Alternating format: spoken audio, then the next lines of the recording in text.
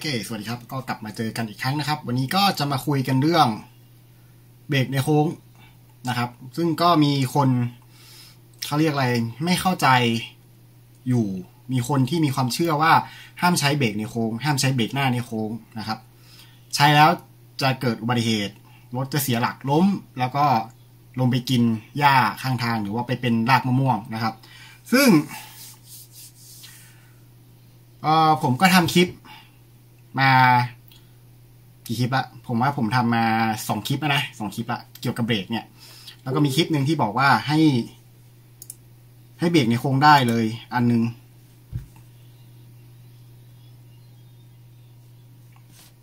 ก็มีมิเศษมานะครับ เอาไว้ก่อน ก็แม้กระทั่งใน YouTube ก็ยังมีคอมเมนต์บอกว่า ห้ามห้ามเบรกในโค้ง ห้ามเบรกหนักๆหรือว่ายังไงก็ตาม ในโค้ง ซึ่งผมคิดว่ามันเป็นเรื่องที่คนยัง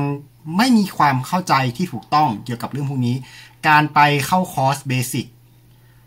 ผมว่ามันมี มันมีจุดจุดหนึ่งที่ครูฝึกจะบอกว่า เวลาคุณควบคุมรถด้วยความเร็วต่ำเนี่ย คุณห้ามใช้เบรกหน้า เพราะว่ามันจะแจ็คไนฟ์ก็คือล้อหน้าล็อกปุ๊บ แล้วมันก็พับแล้วก็ล้มลงไปเลยนะครับ ซึ่งผมมองเห็น เขาเรียกอะไรอะช่องว่างของการสอนคอร์ส basic ตรงนี้อยู่นะครับ ถ้าผมเทียบกับคอร์สที่ผมเรียนในออสเตรเลียนะครับ ซึ่งคอร์ส learner course ของอสอนคนไปขับมอเตอร์ไซค์จากคนไม่เป็นอะขับมอเตอร์ไซค์เขาจะสอนให้ไล่น้ำหนักเบรกนะครับ คุณจะใช้เบรกหน้าเบรกหลังก็ได้ แต่คุณต้องรู้จักการไล่น้ำหนักเบรกเพราะว่าการไล่น้ำหนักเบรกเนี่ยทำให้ล้อมันไม่ล็อก แล้วคุณก็จะไม่พับแล้วก็ล้มแปะ นะครับอ่าซึ่งผมก็มีอุปกรณ์ช่วยสอน ซึ่งไปเอาอะไหล่จากบนรถมานะครับ ก็มีไอปั๊มปั๊มบนของ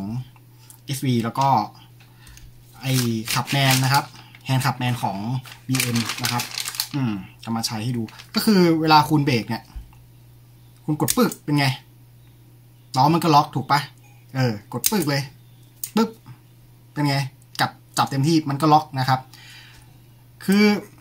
ถ้าเป็นคอร์สเลอร์เนอร์ของออสเตรเลียเขาจะบอกว่าให้ค่อยๆกำเข้ามา แล้วให้ดูว่ารถมันตอบสนองหรือยังไงนะครับค่อยๆกำเข้ามาปุ๊บจนถึงเราเราจะรู้เลยว่า พอเรากำเข้าเนี่ยมันเริ่มแน่นมันเริ่มแน่นรถมันเริ่มจะหยุดละถ้าเกิดปึ๊กเลยเนี่ยหยุดหยุดกึกแล้วมันก็ล้มพอมันไปต่อไม่ได้มันหมดแรงใจโล่นึกออกปะเออ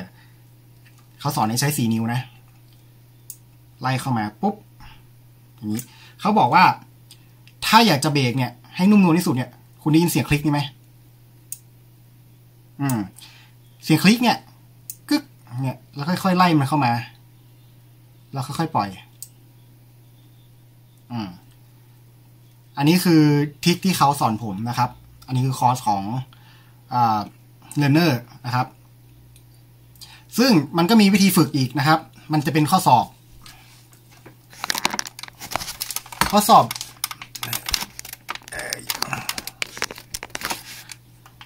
ซึ่งมันก็มีวิธีฝึกอีก มันก็เป็นข้อสอบใบขับขี่นะครับ สอบปฏิบัตินะครับ ก็คือว่าเรามาด้วยความเร็ว 40กิโลเมตรต่อชั่วโมงปุ๊บเนี่ย แล้วเขาจะตีกรอบไป 5 เมตรนะครับ ทันทีที่ล้อหน้าเราแตะกรอบเนี่ย ให้เราเริ่มกำเบรกยกคันเร่งแล้วกำเบรกแล้วหยุดรถให้สนิท โดยที่ล้อไม่ถลายล้อไม่ล็อก ในกรอบ 5 เมตร ถ้าเกิน5เมตร คุณสอบตกนะครับ รู้สึกว่าข้อนี้เขาให้ครั้งเดียวด้วย อืม ไม่ไม่ให้สามครั้งทำครั้งเดียวปุ๊บเนี่ย ไม่ผ่านคือไม่ผ่าน วนไปกับมาสอบใหม่นะครับ อืม ถ้าจำไม่ผิดนะ มันกี่ปีแล้วผมสิบกว่าปีที่แล้วมั้งอืม หลังๆมาอาจจะแบบอารมณ์อรวยนะครับ ผมเคยเห็น ผมเคยไปนั่งดูอยู่ก็มีแบบว่า อ่า มีให้บ้างบางคนนะครับ แล้วแต่ครูฝึกนะครับ ทีนี้เนี่ย พอเราฝึกเบสิกเบรกเนี่ย เรารู้แล้วน้ำหนักเบรกเราใช้แค่ไหนรถถึงจะหยุดล้อมันถึงจะล็อกหรือว่ารถมันถึงจะเสียอาการเนี่ย อืม ทีนี้เนี่ย เราจะใช้ พอเรารู้แล้วเนี่ย เราจะใช้ในโค้งได้ไหมมันก็ได้นะครับ หลายคนคิดว่าเวลาเราเทเทอยู่เนี่ย เทอยู่นะ อืม เรากดเบรกกดคาไว้เงี้ย หรือว่ายังไงก็ตามเนี่ยรถมันจะไม่พับให้ จริง ๆ มันไม่ใช่นะครับ อืม จริง ๆ ก็คือว่าเรากดปุ๊บเนี่ยนึกออกปะกดปุ๊บเนี่ยเบรกเนี่ยมันจับล้อใช่ไหมแล้วชกหน้ามันจะค่อยๆกดลงไปรถมันจะสั้นลง พอรถมันสั้นลงเนี่ยฐานล้อมันสั้นลง เวลาคุณเข้าโค้งเนี่ยคุณก็ไม่ต้องเอียงมาก มันไม่ได้หมายความว่ารถมันตั้งหมายความว่ารถมันไม่ต้องเอียงมากเพื่อที่จะเข้าโค้งนึกออกปะเพื่อที่จะเอาวงโค้งเนี่ย อืม ดังนั้นเนี่ยการกำเบรกเข้าไปในโค้งเนี่ยคาน้ำหนักเบรกไว้นิดนึงเนี่ยอืม มันจะโหลดล้อหน้านะครับ ก็คือโชคเนี่ยมันจะกดล้อหน้าเข้าไป เพราะว่าเบรกมันจับล้อหน้าอยู่นึกอกปะมันก็จะดึงโชคออกมานะครับ แล้วมันก็จะทำให้รถสั้นลงพอรถสั้นลงปุ๊บวิวเบสหรือฐานล้อมันก็สั้นลงพอมันสั้นลงเป็นไง มันก็เข้าโค้งง่ายขึ้น โดยที่ไม่ต้องเอียงเยอะนะครับ อันนี้คือการเบรกเข้าไปในโค้งหรือเทรลเบรกนั่นเองนะครับ ซึ่งเราจะทำยังไงเทรลเบรกเราเข้ามาในโค้งไหมบิดมาแล้วเจอโค้ง ยกคันเร่งนะครับผมถนัดสองนิ้วผมถนัดสองนิ้ว แตะไว้นิดนึงเข้าไปในโค้งแล้วเอียงไว้ปุ๊บนะครับ พอถึงพอใกล้จะถึงเอเปกเนี่ย ใกล้จะมองเห็นทางออกโค้งแล้วค่อย ๆ ปล่อย พอถึงจุดที่เราจะเปิดคันเร่งปุ๊บปล่อย แล้วก็บิดคันเร่งต่อนะครับ ง่าย ๆ เราไม่ต้องกำอะไรมากมาย เราแค่แบบเหนียวไว้นิดนึงเนี่ยแตะไว้นิดนึงนะครับ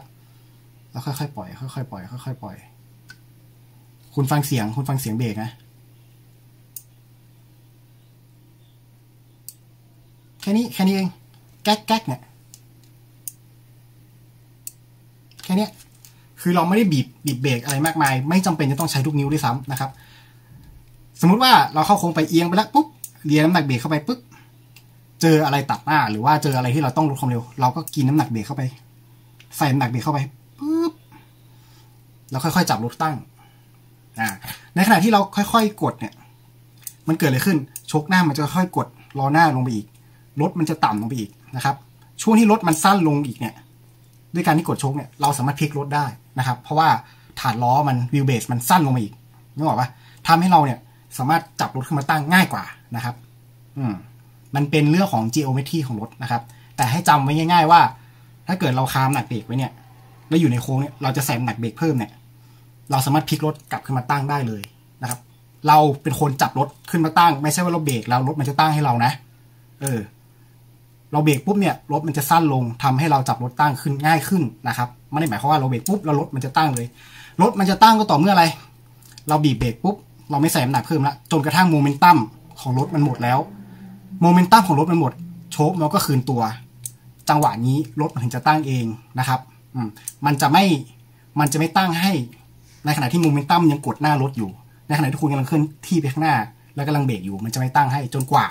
โมเมนตัมมันจะหมดนะครับ อืม มันหลายคนเขาอธิบายจังหวะของเบรกในการทำงานช่วงต่างๆ ของรถเนี่ยมันมันต่างกันนะครับ มันมีการเปลี่ยนแปลงตลอดเวลานะครับ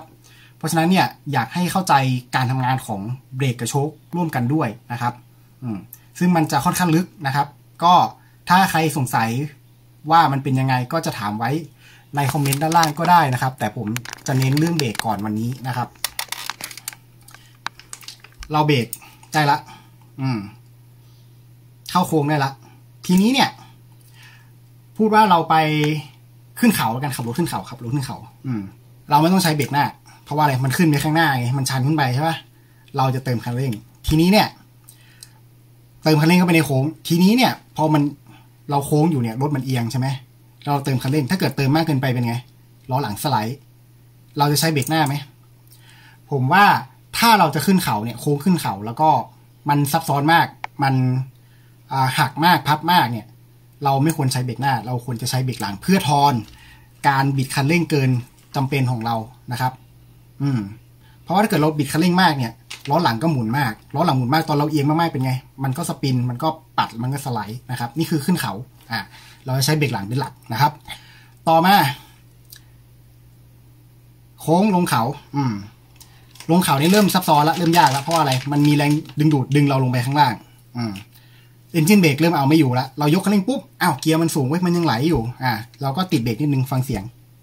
แค่นี้พอนะครับ แล้วก็ถ้ารถไม่มี slipper clutch ทำไง ติดเบรกนิดนึงนะครับ rev slide นิ้วนะ สไลด์นิ้ว rev นะครับ rev ก็คือบิดคันเร่ง บีบคลัตช์บิดคันเร่ง ถอนเกียร์แล้วปล่อยคลัตช์นะครับทำ rev matching นะครับ โดยที่นิ้วอะมัน slide slide กับตัวนี้ กับเบรก เบรกเราแตะนิดเดียวนะครับ แค่นี้พอ